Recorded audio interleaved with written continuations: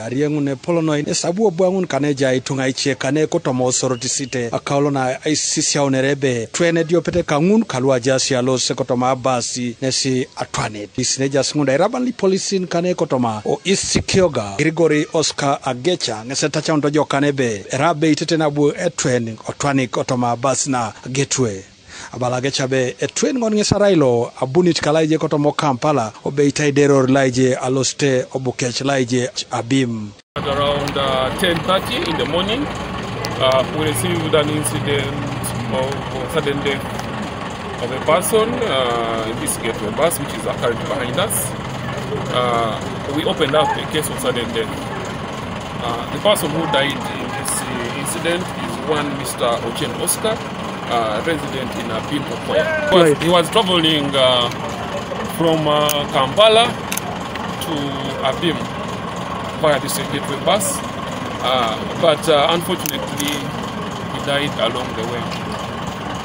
Our preliminary findings indicate that uh, this person had an illness uh, because we have contacted you as he, who was a guard with Saracen Securities in Kajansi.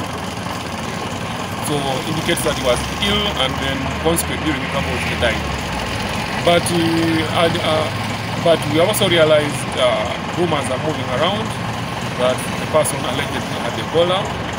So to avoid and to avoidance of doubt, we have called and uh, we are liaising with uh, Hospital, Faro Hospital, who have come and taken samples.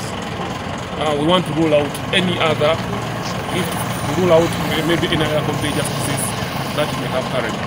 But currently, the condition that and, and the current findings indicate that he was ill and he died accordingly.